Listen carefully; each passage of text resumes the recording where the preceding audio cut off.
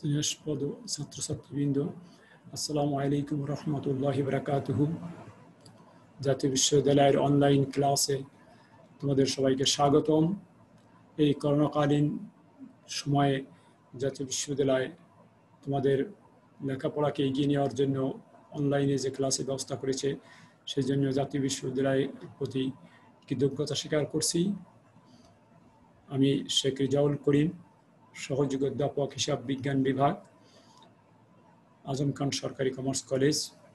আমি তোমাদের আজ যে বিষয়টি পড়াবো সেটা হচ্ছে বাংলাদেশ পরিবেশ সংরক্ষণ আইন উনিশশো পঁচানব্বই এবং সারিস আইন দুই এক, লেকচার নাম্বার এগারো। আমরা প্রথম স্লাইডে যাই। প্রথম স্লাইডে আমরা লিখেছি, বাংলাদেশ পরিবেশ সংরক্ষণ আইন উনিশশো পঁচানব্বই এবং সারিস আইন দুই এর পরিবেশের সংজ্ঞা। পরিবেশের সংজ্ঞা আমরা এখানে লিখেছি পানি, বায়ু, মাটি, ভৌত সম্পদ ও এদের মধ্যে বিদ্যমান পারস্পরিক সম্পর্ক সহ।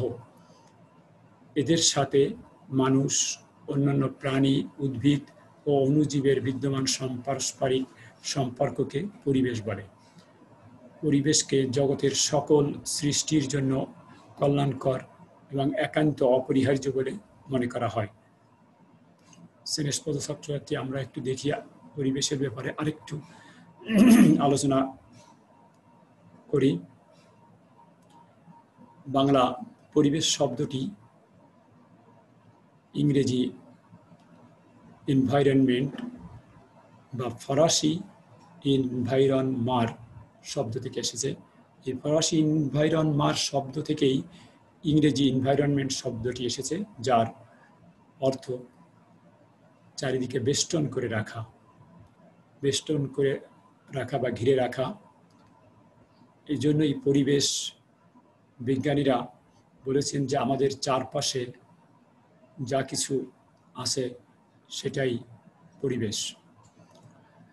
আমাদের চারপাশে যা কিছু আছে, বায়ু, মাটি, পানি, গাছপালা, পাহাড়, পর্বত যে সকল জিনিস সব ই পরিবেশের উপাদান। অতি প্রাচীনকালে পরিবেশ যে প্রাচীন কাল থেকেই, আদিম যুগ থেকেই মানুষ পরিবেশের উপর নির্ভর করে চলে আসছে। তবে সেই সময়ে পরিবেশকে যতটা মানুষ কাজে লাগাতে পারত, সভ্যতার ক্রম বিকাশের সাথে সাথে মানুষ পরিবেশের উপর বেশি নির্ভরশীল। পরিবেশ থেকে বহু কিছু আবিষ্কার করছে এবং পরিবেশের গুরুত্ব দিন দিন বেড়ে গেছে। এই পরিবেশ প্রকৃতির সকল বস্তু, প্রকৃতির সকল বস্তুর সমন্বয়ে প্রকৃতির সকল বস্তুর যে পারস্পরিক সম্পর্ক আছে, এই পারস্পরিক সম্পর্ককেই বলা হয় পরিবেশ এবং প্রত্যেকেই পরিবেশের যতগুলো উপাদান আছে, এই পরিবেশের উপাদানের প্রত্যেকেই একে একের অপরের প্রতি নির্ভরশীল এবং এই একে অপরের প্রতি নির্ভরশীলতাই পরিবেশের প্রধান বৈশিষ্ট্য। পরিবেশ বিজ্ঞানীরা এই পরিবেশকে, প্রাকৃতিক পরিবেশকে দুটি ভাগে ভাগ করেছে। একটা হচ্ছে জীব জীব জগৎ আর একটা হচ্ছে জড়জগৎ আমেরিকান দুজন প্রখ্যাত পরিবেশ বিজ্ঞানী, একজন হচ্ছে মিস্টার ক্যানিহাম আর একজন মিস্টার গ্রাইগো। তারা পরিবেশের সংজ্ঞা দিতে গিয়ে বলেছেন, মানুষ হচ্ছে দুই জগতের বাসিন্দা। মানুষ দুইটি জগতে বিচরণ করে। দুইটি জগতের সাথে সম্পর্কযুক্ত, একটা প্রাকৃতিক জগৎ, আরেকটি সামাজিক জগৎ। প্রাকৃতিক জগৎ, যার উপাদান হচ্ছে বিভিন্ন প্রাণী, উদ্ভিদ, মাটি, বায়ু, পানি, পাহাড়, পর্বত এবং মানুষও তার অংশ। আর আরেকটি জগতের কথা বলেছেন সামাজিক জগৎ বা সামাজিক যে উপাদান যেটা মানব তার, মানুষ তার নিজের কল্যাণে প্রণয়ন এবং প্রবর্তন করেছে। এই দুটি পরিবেশের সমন্বয়ে সামাজিক এবং প্রাকৃতিক পরিবেশের সমন্বয়ে পরিবেশ গড়ে ওঠে। পরিবেশের সংজ্ঞা দিতে গিয়া কয়েকজন পরিবেশ বিজ্ঞানী বলেছেন, জীবনের পরিবেশ হচ্ছে জীবনের ভরণ পোষণের ব্যবস্থা। পরিবেশ জীবনের ভরণ পোষণের ব্যবস্থা। আর আমাদের এই সংজ্ঞায় তোমরা দেখো, এখানে দেওয়া আছে, এই সংজ্ঞার নিচের অংশটি বলা আছে, পরিবেশকে জগতের সকল সৃষ্টির জন্য কল্যাণকর এবং একান্ত অপরিহার্য বলে মনে করা হয়। অর্থাৎ পরিবেশ ছাড়া পরিবেশে জগতের যত সৃষ্টি আছে, সকল সৃষ্টির জন্য এটা কল্যাণকর এবং একান্ত অপরিহার্য মনে করে মনে করা হয়। ঠিক এই সংজ্ঞায়, এই আলোকে বলা যায় যে, কয়েকজন পরিবেশ বিজ্ঞানী বলেছেন, পরিবেশকে ভরণ পোষণের ব্যবস্থা বলেছেন। অন্যান্য জীবের জন্য, জীবনের জন্য পরিবেশকে ভরণ পোষণের ব্যবস্থা বলেছেন। পরিবেশ কীভাবে ভরণ পোষণের ব্যবস্থা করে, আমরা একটু বাস্তবতার আলোকে আসি। আমরা জানি যে মানুষের প্রধান খাদ্য, বিশেষ করে বাংলাদেশ, ভারত, পাকিস্তান, আমাদের এই উপমহাদেশের মানুষের প্রধান খাদ্য হচ্ছে ভাত। কিন্তু এই ভাতটি কীভাবে আসে? চাউলের মাধ্যমে চাল কীভাবে আসে? ধানের মাধ্যমে, ধান উৎপাদন হয় কোথায়? ভূমি থেকে। যেটা পরিবেশের একটি উপাদান, জমি বা ভূমি, মাটি, এটা পরিবেশেরও একটি উপাদান। সেই উপাদান থেকেই আমাদের এই ধানটি উৎপাদন হয়। আমাদের দেশে হয়তো ধান, কিন্তু অন্য দেশে, অনেক দেশে আছে প্রধান খাদ্য গম। পৃথিবীর অংশ দেশেরই প্রধান খাদ্য গম, কোনো দেশের প্রধান খাদ্য আলু। এ সব কিছুই কিন্তু আসছে পরিবেশ থেকে, অর্থাৎ মাটি থেকে উৎপন্ন হচ্ছে। শুধু কি আমাদের খাদ্য? যদি আমরা, এটা প্রধান খাদ্য ভাত, কিন্তু পানির অপর নাম জীবন। পানি, আমরা, আমাদের ব্যবহার্য যত পানি, সব কিন্তু নদী বা সমুদ্র থেকে আসে। আবার আমাদের খাওয়ার পানি ভূগর্ভস্থ ভূগর্ভস্থ তলাদেশ থেকে আমরা ডিপ টিউবওয়েলের মাধ্যমে খাবার পানি সংগ্রহ করছি, এটিও পরিবেশের অবদান। শুধু তাই নয়, আমাদের জীবনদায়ী যে অক্সিজেন অক্সিজেন না হলে আমরা এক মুহূর্ত বাঁচতে পারি না, সেই অক্সিজেনও দিচ্ছে কিন্তু প্রকৃতি, বাতাস। বাতাসের মাধ্যমে আমরা সেই অক্সিজেন গ্রহণ করছি এবং বাতাস শুধু আমাদের অক্সিজেন দিচ্ছে অক্সিজেন নিচ্ছে, কিন্তু সেই অক্সিজেন আমরা যখন ছেড়ে দিচ্ছি, তখন আবার পরিবেশের আরেকটি উপাদান গাছ সেই গাছ আমাদের এই আমরা যে অক্সিজেন গ্রহণ করে কার্বন ডাই অক্সাইডটা নির্গত করছি গাছ সেই কার্বন ডাই অক্সাইড নিয়ে, সেটিকে আবার সে অক্সিজেন আকারে ত্যাগ করছে এবং আমরা সেটি আবার গ্রহণ করছি। তাহলে আমাদেরকে বাঁচিয়ে রাখছে প্রকৃতি। পরিবেশের মানে বলছে যে পরিবেশকে, জগতের সকল সৃষ্টির জন্য কল্যাণকর। সমস্ত আমাদের কল্যাণ করছে বা আমাদের জীবিত রাখছে প্রকৃতি। প্রকৃতি ছাড়া মানুষ এক মুহূর্ত বেঁচে থাকতে পারতো না। শুধু আমাদের, শুধু এইটাই নয়, আমার মানুষের যে বিলাস সামগ্রী, আমরা যে বিলাস সামগ্রী সামগ্রী ব্যবহার করি এই সবও কিন্তু পরিবেশেরই দান। কারণ মানুষ যে বিভিন্ন রকমের উন্নত মানের ফার্নিচার ব্যবহার করছে, এই ফার্নিচারগুলো সবই কাঠ দ্বারা তৈরি করা এবং এই কাঠগুলো আসছে কিন্তু গাছ থেকে। ফলে এটিও পরিবেশের দান। শুধু তাই নয়, মানুষ যে বিলাস সামগ্রী, স্বর্ণ রৌপ্য ব্যবহার করে, সেটাও পরিবেশের দান। কারণ সেটি আসছে খনি থেকে, আর খনি থাকে মাটির তলে, যেটা সেখান থেকে উত্তোলন করতে হয়। ফলে এটিও পরিবেশেরই দান। ফলে আমরা বলতে পারি যে মানুষ পরিবেশ ছাড়া একদিনও চলতে পারে না, এক মুহূর্ত চলতে পারে না। মানুষের দৈনন্দিন জীবনে যা কিছু প্রয়োজন, বিশেষ করে জীবন ধারণের, জীবন বাঁচানোর জন্য যা কিছু প্রয়োজন, সবই প্রকৃতি থেকে আসে। কারণ জীবন বাঁচানোর জন্য পানি ছাড়া যেমন চলতে পারে না, অক্সিজেন ছাড়া চলতে পারে না, খাদ্য ছাড়া চলতে পারে না এসব দেয় প্রকৃতি। শুধু তাই নয়, মানুষ যে ফলমূল খায়, মানুষের স্বাস্থ্য সুরক্ষার জন্য যে ফলমূল মানুষ ভোগ করে, সেটিও কিন্তু আসে। প্রকৃতি থেকে, প্রকৃতি সেটিও আমাদের দেয় বিভিন্ন গাছ থেকে এবং মাটি থেকে উৎপন্ন হয় এই শস্য, এই ফলমূল। আমরা সেটি খেয়েই মানুষ জীবনযাপন করে। ফলে আমরা পরিশেষে বলতে পারি যে পরিবেশ ছাড়া মানুষকে একদিনও কল্পনা করা যায় না এবং মানুষের কল্যাণের জন্য পরিবেশটা অপরিহার্য। শ্রেষ্ঠপদ ছাত্রছাত্রী বৃন্দ, আমরা এবার পরবর্তী স্লাইডে যাই। পরবর্তী স্লাইডে আমরা দেখব পরিবেশ আইনে বিভিন্ন বিষয়ের সংজ্ঞা। বাংলাদেশে পরিবেশ আইন উনিশশো সালের আমরা এখানে দেখেছি, বাংলাদেশ পরিবেশ সংরক্ষণ আইন উনিশশো পঁচানব্বই। এই পরিবেশ সংরক্ষণ আইন উনিশশো পঁচানব্বই অনুযায়ী পরিবেশের কিছু বিষয়ের সংজ্ঞা দেওয়া হয়েছে। সেই পরিবেশের পরিবেশ আইনে উনিশশো সালে পরিবেশ আইনে যে সকল বিষয়ের সংজ্ঞা দেওয়া হয়েছে, আমরা সেই বিষয়গুলো নিয়ে একটু আলোচনা করব। আমরা প্রথম প্রথম সংজ্ঞা হচ্ছে অধিদপ্তর।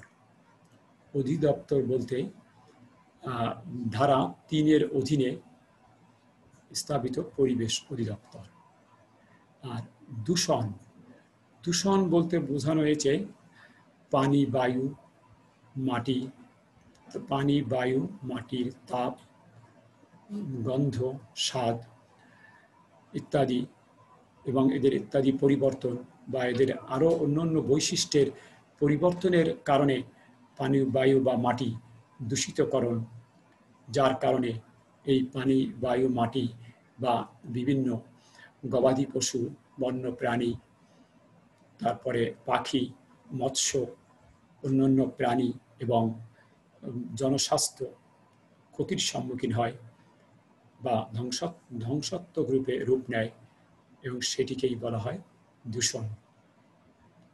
দখলদার। পরিবেশ আইন উনিশশো পঁচানব্বই এর অধীনে দখলদার বলতে বলা হয়েছে যে কারখানা বা প্রাঙ্গণ ইত্যাদি বিষয়ের বিষয় কারখানা বা প্রাঙ্গণের ক্ষেত্রে সেটি সেই বিষয়ের উপরে যার নিয়ন্ত্রণ থাকে, সেই হচ্ছে কারখানা বা প্রাঙ্গণের দখলদার। আর পদার্থর ক্ষেত্রে বলা হয়েছে, পদার্থ, কোনো পদার্থ যার অধিকারে থাকে, সেই হচ্ছে ওই পদার্থের দখলদার। চার নম্বর পয়েন্টে আমরা আসি। পরিবেশ। পরিবেশ বলতে আমরা এতক্ষণে পরিবেশ নিয়ে আলোচনা করেছি।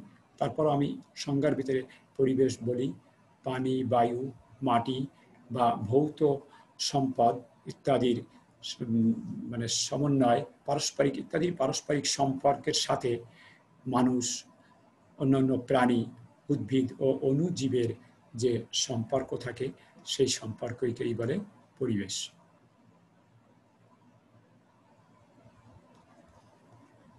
পরিবেশ দূষক। পরিবেশ, দূষক আছে পরিবেশের দূষণ সৃষ্টি করে বা দূষণ সৃষ্টি করার সাথে সম্পর্কযুক্ত তরল বায়বীয় বা কঠিন পদার্থ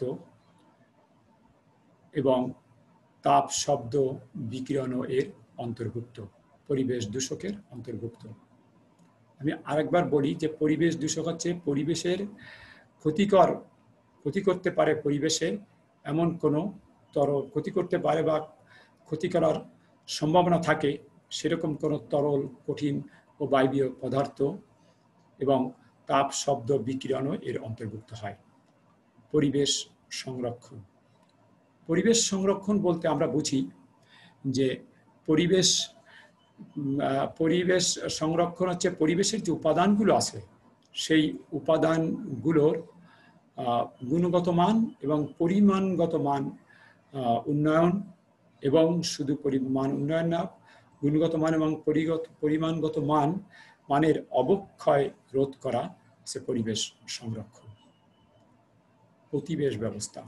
প্রতিবেশ ব্যবস্থা হচ্ছে এই পরিবেশের যে উপাদানগুলো আছে, পরিবেশের যে উপাদানগুলো আমরা ইতিপূর্বে নাম অনেকবার বলেছি, তারপর আমি বলি পানি, বায়ু, মাটি বিভিন্ন গাছপালা, প্রাণী, উদ্ভিদ, পাহাড়, পর্বত এই যে ইগুলো আছে মানে পরিবেশের উপাদানগুলো আছে। এই পরিবেশের উপাদানগুলোর মধ্যে যে পারস্পরিক সম্পর্ক এবং নির্ভরশীলতা, একে অপরে একে অপরের উপর নির্ভরশীল এবং এদের ভিতরে যে পারস্পরিক সম্পর্ক আছে, সৌহার্দ্য আছে, এটিকেই বলা হয় প্রতিবেশ ব্যবস্থা। ব্যক্তি। ব্যক্তি বলতে কোনো ব্যক্তি বা ব্যক্তিবর্গ বা সংবিধিবদ্ধ ব্যক্তি, কোম্পানি অংশীদারি কারবার কোনো সমিতি বা কোনো সংস্থাকে ব্যক্তি বলে।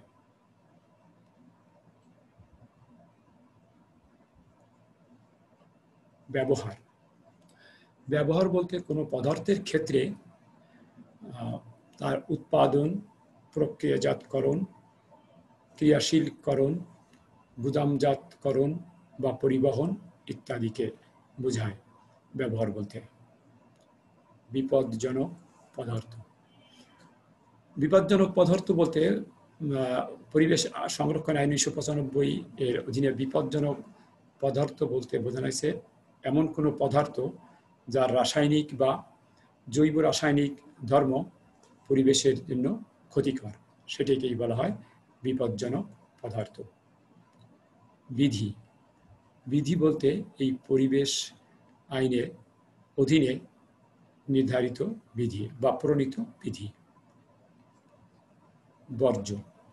বর্জ্য বলতে তরল, বায়বীয়, কঠিন ও তেজস্ক্রিয় পদার্থ যা পরিবেশের বিভিন্ন রকম ক্ষতিকর পরিবর্তন সাধন করে। মহাপরিচালক। মহাপরিচালক অর্থ এই অধিদপ্তরে, অর্থাৎ পরিবেশ অধিদপ্তরে মহাপরিচালক সিনেসপদ ছাত্রছাত্রীরা, আমরা পরবর্তী স্লাইডে যাই। পরিবেশের জন্য ক্ষতিকর ধোয়া সৃষ্টিকারী যানবাহন সম্পর্কে বাধা নিষেধ আমরা জানি, আমাদের দেশে পরিবেশের জন্য ক্ষতিকর ধোঁয়া সৃষ্টিকারী যানবাহন সম্পর্কে বা পরিবেশের জন্য বহু যানবাহন আছে যেগুলো পরিবেশের জন্য মারাত্মক ক্ষতিকর। আমরা যদি দেখি রাজধানী ঢাকা শহরে যে সকল যানবাহন চলে, সেই যানবাহন থেকে যে ধোঁয়া সৃষ্টি হয়, যেটি জনস্বাস্থ্যের জন্য অনেক ক্ষতিকর। এই যে ক্ষতিকর ধোঁয়া সৃষ্টি করা এটা বেআইনি। এবং এই ক্ষতিকর ধোঁয়া সৃষ্টি করা করতে না পারে, সেজন্য পরিবেশে তার ভিতরে, তার জন্য আইন করা আছে। এই পরিবেশের জন্য ক্ষতিকর ধোঁয়া সৃষ্টিকারী যানবাহন সম্পর্কে যেগুলো আইনগুলো আছে বা যে বাধা নিষেধগুলো আছে, আমরা এখন একটু সেটি দেখব। এখানে ধারা ছয়, এখানে বলা আছে, ধারা ছয়ে বলা আছে যে স্বাস্থ্য হানিকর, অর্থাৎ জনগণের স্বাস্থ্য হানিকর বা পরিবেশের জন্য ক্ষতিকর ধোঁয়া বা গ্যাস নিঃসরণ করা হয় যে যানবাহন, সেই যানবাহন রাস্তায় চালানো যাবে না। সেই যানবাহন চালানো নিষেধ। হ্যাঁ তবে যদি ওই যানবাহন পরীক্ষা করার জন্য, পরীক্ষা করার কারণে ওই মুহূর্তে সে যানবাহন চালানো যাবে, কিন্তু সব সময়ের জন্য চালানো যাবে না, এটা ধারা ছয় মতে এটা নিষেধ। পরিবেশ আইন উনিশশো পঁচানব্বইয়ের ধারা ছয় মতে এটি চালানো কর্তৃপক্ষের নিষেধাজ্ঞা আছে।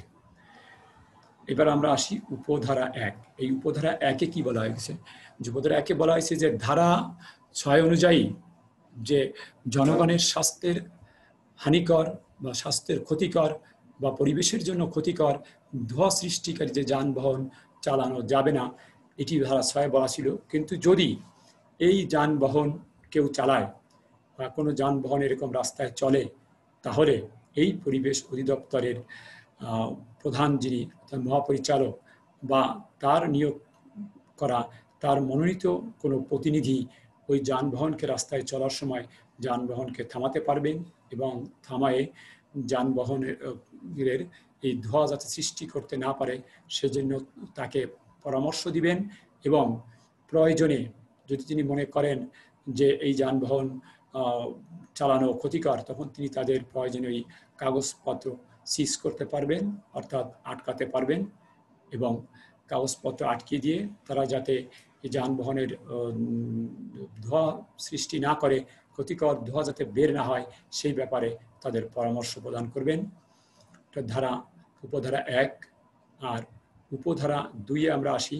এই উপধারা দুইয়ে ওই উপধারা একের মতে যখন প্রধান মানে যখন মহাপরিচালক অথবা তার মনোনীত কোনো ব্যক্তি যখন কোনো যানবাহন তাৎক্ষণিকভাবে পরীক্ষা করবেন, তখন তাৎক্ষণিকভাবে পরীক্ষা করে তার রিপোর্ট তিনি আদালতে দাখিল করতে পারবেন। সেই সুযোগ তার আছে, যেটা উপধারা দুয়ে বলা আছে। চার, উপধারা এক ও দুইয়ের বিধান। চারে বলা হয়েছে যে উপধারা একে উপধারা একে আর দুইয়ে অর্থাৎ উপধারা একে তিনি ওই মহাপরিচালক অথবা তার প্রতিনিধি যানবাহন আটকাতে পারবেন। আর দুইয়ে বলা ছিল যে যানবাহন পরীক্ষা করে রিপোর্ট দাখিল করতেন এখন এই উপধারা এক ও দুই যদি কেউ বিধান এই বিধান যদি কেউ লঙ্ঘন করে, অর্থাৎ কোনো বাস, ট্রাক বা অন্য কোনো পরিবহন যদি উপধারা এক ও দুইয়ের বিধানকে লঙ্ঘন করে, সেক্ষেত্রে ওই যানবাহনের ড্রাইভার বা মালিককে মহাপরিচালক বা তার প্রতিনিধি, এই যে কোনো একজন ওই ড্রাইভার বা তার মালিককে দায়ী করতে পারবেন, অর্থাৎ দণ্ডের আওতায় আনতে পারবেন, অথবা দুজনকেই, মালিক এবং ড্রাইভার দুজনকেই দণ্ডের আওতায় আনা যাবে ক্ষেত্র মতে আমরা পরবর্তী স্লাইডে আসি। এটা হচ্ছে সালিশ আইন দুই এক। সারি এখন আমরা পড়ব সালিশ আইন দুই একের সাধারণ বিধানাবলী। তো এই সালিশ আইন দুই একের সাধারণ বিধানাবলী পড়ার আগে আমরা একটু সালিশটা সম্পর্কে কথা বলি। সালিশ বা আরবিট্রেশন সালিশ বা আরবিট্রেশন এটা হচ্ছে কোনো বিরোধ নিষ্পত্তির একটা পদ্ধতি। আদালতের বাইরে বিরোধ নিষ্পত্তির একটা পদ্ধতি হচ্ছে সালিশ বা আরবিট্রেশন এই পদ্ধতিতে দুই পক্ষ, যে দুই পক্ষের ভিতরে দ্বন্দ্ব সংঘটিত হয়, সেই দুই পক্ষ একজন বা একাধিক সালিশ নিয়োগ করবেন এবং সেই সালিশ সালিশকারী বা সালিশগণ সালিশকারীগণ দুই পক্ষের কথাবার্তা শুনে দুই পক্ষের স্বাক্ষর উপকরণ নিয়ে বিচার করার, মীমাংসা করার চেষ্টা করবেন এবং তারা যে মীমাংসা করবেন, সেই সিদ্ধান্তের যে সিদ্ধান্ত, সেই সিদ্ধান্ত উভয় পক্ষ মান্য করতে বাধ্য। এখন আমরা আসি এই সালিশ আইন দুই হাজার একের সাধারণ বিধানাবলী। এই বিধানাবলী সম্পর্কে আমরা একটু কথা বলি। এক নম্বর হচ্ছে আইনানুক প্রতিনিধি। আইনানুক প্রতিনিধি আইনানুক প্রতিনিধির অর্থ আইনানুক প্রতিনিধির অর্থ আইনানুকভাবে কোনো ব্যক্তি, মৃত কোনো ব্যক্তির সম্পত্তির প্রতিনিধিত্ব করেন। তিনি হচ্ছেন আইনানুক প্রতিনিধি। বা মৃত কোনো ব্যক্তির সম্পত্তি পরিচালনার সাথে সম্পৃক্ত থাকেন যে ব্যক্তি, তিনি হচ্ছেন আইনানুক ব্যক্তি। অর্থাৎ আইনানুক প্রতিনিধি। আইনানুক প্রতিনিধি হচ্ছে মৃত ব্যক্তির সম্পত্তির প্রতিনিধিত্ব করেন যিনি বা মৃত ব্যক্তির সম্পত্তির পরিচালনার সাথে যিনি সম্পৃক্ত থাকেন, তিনি হচ্ছেন আইনানুক প্রতিনিধি। আদালত। আদালত বলতে আমরা যে বুঝি, আদালত বলতে জেলা জজ আদালত অথবা সরকার, সরকারি কোনো প্রজ্ঞাপন বলে বা সরকারি কোনো গেজেট বলে জেলা জজ আদালতের কার্য সম্পাদনের জন্য নিযুক্ত অতিরিক্ত জেলা জজ আদালতকেও এই আদালতের আওতায়, আদালতের অন্তর্ভুক্ত করা যাবে। আন্তর্জাতিক বাণিজ্যিক সালিশ আন্তর্জাতিক বাণিজ্যিক সালিশ অর্থাৎ চুক্তিগত বা চুক্তি বহির্ভূত সম্পর্ক থেকে উদ্ভূত কোনো বিরোধ সম্পর্কিত সালিশ আমি আবার বলছি, আন্তর্জাতিক বাণিজ্যিক সালিশের চুক্তিগত বা চুক্তি বহির্ভূত কোনো সম্পর্কতে উদ্ভূত উদ্ভূত কোনো সম্পর্ক, সম্পর্কিত কোনো সালিশ যা বাংলাদেশে প্রচলিত আইনের বিধান অনুযায়ী বাণিজ্যিক বিরোধ নামে পরিচিত হতে হবে। বাণিজ্যিক বিরোধ নামে পরিচিত না হলে কিন্তু আন্তর্জাতিক বাণিজ্যিক সালিশ গণ্য করা যাবে না। সেটা বাণিজ্যিক বিরোধ নামে পরিচিত হতে হবে সেই বিরোধটাকে এবং এই বাণিজ্যিক বিরোধ নামে পরিচিত হতে হবে এবং এর একটি পক্ষ অবশ্যই বাংলাদেশের বাইরে অবস্থান করতে হবে, বাংলাদেশের বাইরের কোনো রাষ্ট্রের হতে হবে। শুধু বাংলাদেশের বাইরে অবস্থান করলে হবে না, বাংলাদেশের বাইরের কোনো রাষ্ট্রের নাগরিক হতে হবে। চার নম্বর আছে তামাদি আইন। তামাদি আইন এই তামাদি আইন বলতে পরিবেশ আইন উনিশশো পঁচানব্বইয়ে তামাদি আইনের সংজ্ঞা দেওয়া হয়েছে limitation act nineteen zero eight অর্থাৎ লিমিটেশন অ্যাক্ট উনিশশো আট। এটিকে বলা হয়েছে তামাদি আইন। দেওয়ানি কার্যবিধি।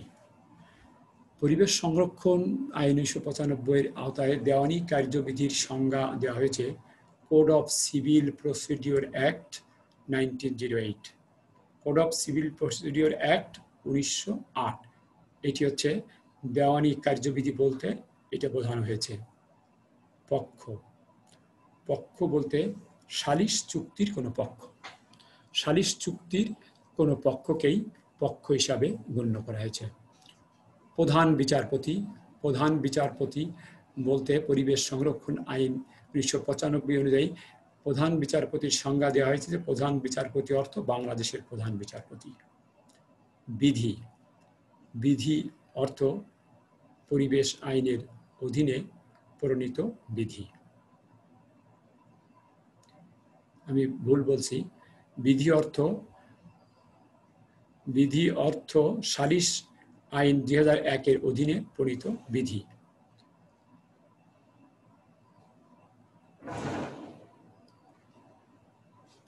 ব্যক্তি। ব্যক্তি বলতে আমরা বুঝি কোনো ব্যক্তি বা ব্যক্তিবর্গ। কোম্পানি, সমিতি, অংশীদারি কারবার বা কোনো সংস্থাকে বোঝায়। বিদেশি সালিশি রোয়েদাত বিদেশি সালিশি রোয়েদাত বলতে বাংলাদেশের বাইরের সালিশি রোয়েদাত অর্থাৎ বিদেশের কোনো ভূখণ্ডে প্রদত্ত সালিশি রোয়েদাতকে বলা হয়, বিদেশি সালিশি রোয়েদাত সাক্ষ্য আইন। সাক্ষ্য আইন সাক্ষ্য আইন হচ্ছে সালিশ আইন দুই হাজার একের সাক্ষ্য আইনের সংজ্ঞা দেওয়া হয়েছে। সাক্ষ্য আইন অর্থ evidence act eighteen seventy two অর্থাৎ সাক্ষ্য আইন হচ্ছে, সাক্ষ্য আইন আঠারোশো বাহাত্তর। সালিশ সালিশ বলতে সালিশ বলতে সালিশি আইন, সালিশ বলতে সালিশ যা কোনো সালিশ সংস্থা কর্তৃক পরিচালিত। আমি আবার বলছি সালিশ বলতে সালিশ যা কোনো সালিশ সংস্থা কর্তৃক পরিচালিত। সালিশি চুক্তি। সালিশি চুক্তি বলতে বিরোধভুক্ত দুই পক্ষ যখন সম্মতিক্রমে, দুই পক্ষের সম্মতিক্রমে সালিশ নিষ্পত্তির জন্য বা বিরোধ দুই পক্ষের সম্মতিক্রমে বিরোধ নিষ্পত্তির জন্য যে চুক্তি করা হয়, সেই চুক্তিকে বলা হয় সালিশ চুক্তি। সালিশি ট্রাইব্যুনাল সালিশকারী বা সালিশকারীদের প্যানেল সালিশের ট্রাইব্যুনাল বলতে সালিশকারী অর্থাৎ একজন সালিশকারী অথবা সালিশকারীদের প্যানেল হাইকোর্ট বিভাগ হাইকোর্ট বিভাগ, বাংলাদেশের সুপ্রিম কোর্টের হাইকোর্ট বিভাগকে হাইকোর্ট বিভাগ বলে অভিহিত করা হয়। সালিশকারী নিয়োগ। আমরা এখন আসব সালিশকারী নিয়োগ। এই সালিশকারী কীভাবে নিয়োগ করা হয়? সেই সালিশকারী নিয়োগের কিছু বিধিবিধান আছে। সেই সালিশকারী নিয়োগের বিধিবিধান নিয়ে আমরা এখন আলোচনা করব। সালিশকারী নিয়োগ সম্পর্কে আইনের বারো ধারায় বলা হয়েছে। সালিশকারী নিয়োগে স্বাধীনতা সালিশকারী নিয়োগে স্বাধীনতা কাদের স্বাধীনতা? পক্ষদয়ের স্বাধীনতা। অর্থাৎ যে দুই পক্ষের মধ্যে বিরোধ সৃষ্টি হয়, এই দুই পক্ষ সালিশকারী নিয়োগে স্বাধীনতা ভোগ করতে পারে। তবে সালিশকারী নিয়োগের স্বাধীনতা ভোগ করতে সালিশকারী নিয়োগের যে পদ্ধতি, এই পদ্ধতি নির্ধারণের ক্ষেত্রে তারা স্বাধীনতা পায়। কিন্তু এই স্বাধীনতা কোনো আইনের বিধানকে অমান্য করে নয়। আইনের বিধানাবলী সাপেক্ষে ওদের মনে রাখা দরকার যে সালিশকারী নিয়োগের পদ্ধতি নির্ধারণের সময় আইনের বিধানাবলী মানব মেনে আইনের বিধানাবলী মেনেই পক্ষদয় সালিশ নিয়োগের ক্ষেত্রে স্বাধীনতা ভোগ করতে পারে এবং আইনের বিধান অমান্য করে কোনো পক্ষ, আইনের বিধান অমান্য করে কোনো পক্ষ সালিশকারী নিয়োগে স্বাধীনতা ভোগ করতে পারে না। পক্ষগণের অসম্মতের ক্ষেত্রে, পক্ষগণের অসম্মতের ক্ষেত্রে যখন পক্ষগণ অসম্মত সম্মত হতে পারে না, তখন অসম্মতের ক্ষেত্রে জাতীয়তার কোনো ব্যক্তিকে সালিশকারী নিয়োগ করা যায় এবং সালিশকারী নিয়োগ করা হয়। তিন নম্বর, সম্মত পদ্ধতির অবর্তমানে সালিশ নিয়োগ পদ্ধতি। সম্মত পদ্ধতির অবর্তমানে সালিশ কীভাবে নিয়োগ করা যায়? এক্ষেত্রে আমাদের মনে রাখতে হবে দুটি পয়েন্ট। সেটা হচ্ছে, একজন সালিশকারীর সমন্বয়ে গঠিত ট্রাইব্যুনাল। আরেকটা হচ্ছে, তিনজন সমন্বয়ে, তিনজন সালিশকারীর সমন্বয়ে গঠিত ট্রাইব্যুনাল। তাহলে সম্মত পদ্ধতির অবর্তমানে, অর্থাৎ যদি দুজনে সম্মত হতে না পারে, সেক্ষেত্রে সালিশকারী নিয়োগ পদ্ধতি আলোচনা করতে গেলে আমাদের প্রথমে মনে রাখতে হবে, দুটি পয়েন্ট একটি হচ্ছে একজন সালিশকারীর সমন্বয়ে গঠিত ট্রাইব্যুনাল আর একটি হচ্ছে তিনজন সালিশকারীর সমন্বয়ে গঠিত ট্রাইব্যুনাল এখন একজন সমন্বয়কারীর সমন্বয় গঠিত ট্রাইব্যুনালে কোনো এক পক্ষের আবেদনের প্রেক্ষিতে আবেদনের প্রেক্ষিতে উভয় পক্ষকে তিরিশ দিনের মধ্যে সালিশ নিয়োগ করার অনুমতি দেওয়া হয়। তালিক তাগিদ দেওয়া হয়, তিরিশ দিনের মধ্যে সালিশ নিয়োগ করতে বলা হয়। কিন্তু এই তিরিশ দিনের মধ্যে যদি সালিশ নিয়োগ করতে ব্যর্থ হয়, তাহলে সেক্ষেত্রে তিরিশ দিনের মধ্যে কোনো পক্ষ সালিশ নিয়োগ করতে ব্যর্থ হলে সেক্ষেত্রে আন্তর্জাতিক বাণিজ্যিক সালিশ ব্যতীত অন্যান্য ক্ষেত্রে, আন্তর্জাতিক বাণিজ্যিক সালিশ ব্যতীত অন্যান্য ক্ষেত্রে জেলা জজ সালিকারী সালিশকারী নিয়োগ করবে। তবে আন্তর্জাতিক বাণিজ্যিক সালিশের ক্ষেত্রে প্রধান বিচারপতি অথবা প্রধান বিচারপতি কর্তৃক মনোনীত সুপ্রিম কোর্টের কোনো বিচারপতি সালিশকারী নিয়োগ করবেন। এটি হলো একজন সালিশকারী সমন্বয় গঠিত ট্রাইব্যুনালের ক্ষেত্রে আর তিনজন সালিশকারী সমন্বয় গঠিত ট্রাইব্যুনালের ক্ষেত্রে নিয়ম হচ্ছে এরকম যে বিরোধভুক্ত দুই পক্ষ, বিরোধভুক্ত দুই পক্ষকে বলা হবে যে তোমরা দুই পক্ষ দুইজন সালিশকারী নিয়োগ করো। তখন বিরোধভুক্ত দুই পক্ষ দুইজন সালিশকারী নিয়োগ করবে এবং এই দুইজন সালিশকারী মিলে তারা তৃতীয় সালিশকারী নিয়োগ করবেন, যিনি হবেন ওই সালিশি ট্রাইব্যুনালের চেয়ারম্যান। এটি হচ্ছে সম্মত পদ্ধতি অবর্তমানে সালিশ নিয়োগ পদ্ধতি এবং একটি ছিল একজন সালিশকারীর সমন্বয়ে গঠিত ট্রাইব্যুনালের ক্ষেত্রে আর তিনজন সালিশকারীর সমন্বয়ে গঠিত ট্রাইব্যুনালের ক্ষেত্রে। আমরা পরবর্তী পয়েন্টে আসি। নিয়োগ পদ্ধতি অনুসরণের ক্ষেত্রে। নিয়োগ পদ্ধতি অনুসরণের ক্ষেত্রে কোনো একজনকে সালিশ নিয়োগের অনুরোধ করা হলে তারা যদি সালিশ নিয়োগ কোনো পক্ষ কর্তৃক আবেদনের প্রেক্ষিতে যদি সালিশ নিয়োগ করতে অপরপক্ষ ব্যর্থ হয়, সেক্ষেত্রে অপরপক্ষ ব্যর্থ হয় অথবা অথবা যে দুই পক্ষ মিলে দুইজন সালিশকারী নিয়োগ করে। যদি সেই দুই পক্ষ মিলে দুইজন সালিশকারী নিয়োগ করার পরে ওই সালিশকারী দুইজন যদি তৃতীয় সালিশকারী নিয়োগ করতে ব্যর্থ হয় অথবা সম্মত হতে না পারে।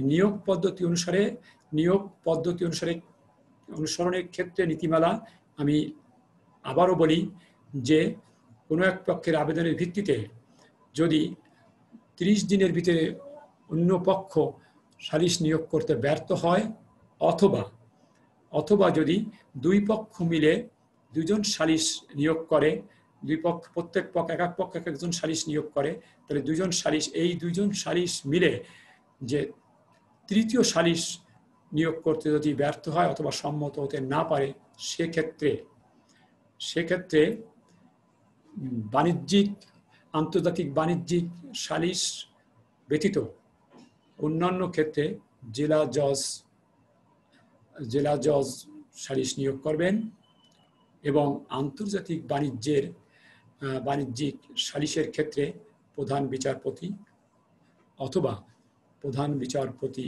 কর্তৃক মনোনীত সুপ্রিম কোর্টের কোনো বিচারপতি সালিশকারী নিয়োগ করবেন। পরের পয়েন্ট উপধারা চার। উপধারা চার, এই উপধারা চার নিয়োগ প্রদর্শনের ক্ষেত্রে যে উপধারা চারে বলা ছিল, বলা হয়েছিল যে দুইজন সালিশকারী দুই পক্ষ নিয়োগ করলে এই দুই পক্ষ যে দুজন সালিশকারী নিয়োগ করবে, এদের এরা মিলেই তৃতীয় সালিশকারী নিয়োগ করবে। এই যে তৃতীয় সালিশকারী যে নিয়োগ করবে, তৃতীয় সালিশকারী নিয়োগ করতে গেলে সেটি এই উপধারা চাইরে তৃতীয় সালিশকারী হবেন ওই সালিশি ট্রাইব্যুনালের চেয়ারম্যান। এটি হচ্ছে উপধারা চাইরে যে তৃতীয় সালিশকারী মানে সালিশি ট্রাইব্যুনালের চেয়ারম্যান হবেন। এরপরে আমরা আসি ছয় নম্বরে প্রধান বিচারপতির ক্ষমতা। এখানে বলা হয়েছে যে যখন একাধিক সালিশকারী নিয়োগ হবে, একাধিক সালিশকারী যখন নিয়োগ করা হবে, তখন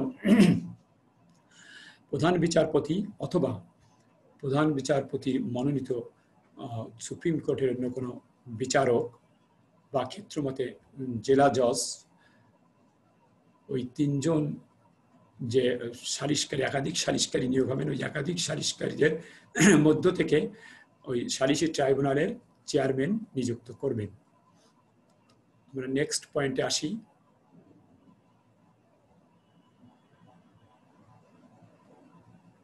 পক্ষগণ কর্তৃক সম্মত নিয়োগ পদ্ধতি। পক্ষগণ কর্তৃক সম্মত। পক্ষগণ নিয়োগ পদ্ধতিতে সম্মত হয়, তাহলে সেক্ষেত্রে কি হবে? পক্ষগণ কর্তৃক নিয়ম সম্মত নিয়োগ পদ্ধতির ক্ষেত্রে যদি আন্তর্জাতিক বাণিজ্যিক সালিশ ব্যতীত অন্যান্য ক্ষেত্রে পক্ষগণ বা যে কোনো পক্ষ জেলা জজ আদালতে আবেদন করবেন এবং জেলা জজ আদালতে আবেদনের প্রেক্ষিতে জেলা জজ ট্রাইব্যুনালের সালিশকারী ট্রাইব্যুনালের চেয়ারম্যান এবং অন্যান্য সালিশকারী নিয়োগ করবেন। আর আন্তর্জাতিক সালিশ আইনের ক্ষেত্রে, আন্তর্জাতিক সালিশের ক্ষেত্রে, বাণিজ্যিক সালিশের ক্ষেত্রে, আন্তর্জাতিক বাণিজ্যিক সালিশের ক্ষেত্রে প্রধান বিচারপতি অথবা প্রধান বিচারপতি কর্তৃক নিযুক্ত সুপ্রিম কোর্টের অন্য কোনো বিচারক তার কাছে পক্ষদ্বয় বা যে কোনো এক পক্ষ আবেদন করতে পারবে এবং ওই আবেদনের প্রেক্ষিতে প্রধান বিচারপতি অথবা প্রধান বিচারপতি কর্তৃক নিয়োগপ্রাপ্ত সুপ্রিম কোর্টের কোনো বিচারক সালিশ নিয়োগ করবেন। সালিশকারী নিয়োগের সময়। আবেদন পাওয়ার বা আবেদন প্রাপ্তির সময় হতে ষাট দিনের মধ্যে সালিশকারী নিয়োগ করতে হবে। এই ষাট দিনের মধ্যে সালিশ নিয়োগকারীর নিয়োগ করার সময়। নিয়োগের শর্ত। নিয়োগের শর্তের ভিতরে প্রধান বিচারপতি বা প্রধান বিচারপতি কর্তৃক মনোনীত সুপ্রিম কোর্টের কোনো বিচারক বা ক্ষেত্রমতে জেলা জজ যখন সালিশ নিয়োগ করবেন, তখন সালিশ নিয়োগের সময় সালিশের যোগ্যতা, তার নিরপেক্ষতা, তার সততা তার দক্ষতা এদিকে লক্ষ্য রেখেই সালিশ নিয়োগ করবেন এবং এটাকেই নিয়োগের শর্ত বলা হয়। আন্তর্জাতিক বাণিজ্যিক সালিশ। আন্তর্জাতিক বাণিজ্যিক সালিশ অর্থাৎ আন্তর্জাতিক কোনো বিরোধ মীমাংসার জন্য, আন্তর্জাতিক কোনো বিরোধ মীমাংসার জন্য যে সালিশ হয় এবং এই সালিশের ক্ষেত্রে যে কোনো এক পক্ষকে বাইরের রাষ্ট্রের নাগরিক হতে হবে।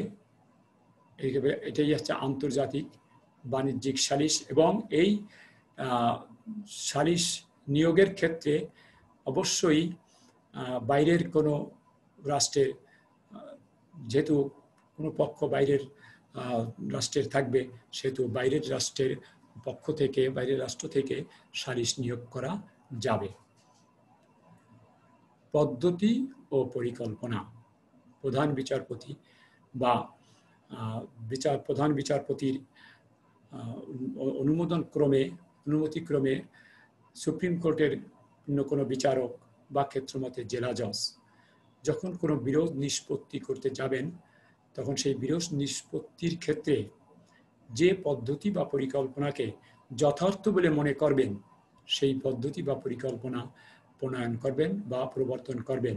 অর্থাৎ সবসময়ই বিচারকগণ চাইবেন যে বিরোধের নিষ্পত্তি, কাজে এই বিরোধের নিষ্পত্তি করতে গিয়ে যে পদ্ধতি বা পরিকল্পনা প্রণয়ন করলে বিরোধটি সহজেই মীমাংসিত হবে, সেই পরিকল্পনা বা পদ্ধতি প্রণয়ন করবেন। প্রধান বিচারপতি কর্তৃক বিচারক নিয়োগ ও দায়িত্ব নির্ধারণ। প্রধান বিচারপতি কর্তৃক বিচারক নিয়োগ ও দায়িত্ব নির্ধারণ। প্রধান বিচারপতি কোনো মামলা বা মামলা সমূহের সুরাহা করার জন্য বা নিষ্পত্তি করার জন্য তিনি বিচারক নিয়োগ করতে পারেন। যে কোনো ব্যক্তিকে বিচারক, যে কোনো বিচারককে তিনি বিচারক হিসেবে নিয়োগ করতে পারেন। সাধারণ কোনো ব্যক্তিকে তো বিচারক নিয়োগ করা যায় না, কোনো বিচারককেই বিচারক হিসেবে নিয়োগ করতে পারেন তিনি কোনো মামলার বা মামলা সমূহের সুষ্ঠুভাবে নিষ্পত্তির জন্য। শুধু তাই নয়, অন্য কোনো সার্বিক দায়িত্ব পালনের জন্য প্রধান বিচারপতি সুপ্রিম কোর্টের কোনো বিচারককে নিয়োগ করতে পারেন এবং তার নিয়োগের দায়িত্বকাল নির্ধারণ করাও প্রধান বিচারপতির কর্তব্য।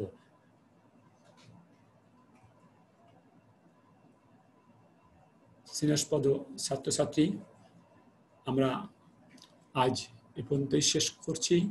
তবে তোমরা ঘরে থাকবে, কামনা করি, ভালো থাকবে এবং ঘর থেকে বাইর হবে না, এবং বাইর হলে অবশ্যই মাস্ক ব্যবহার করবে। সকলের সুস্বাস্থ্য কামনা করে শেষ করছি। আল্লাহ হাফেজ।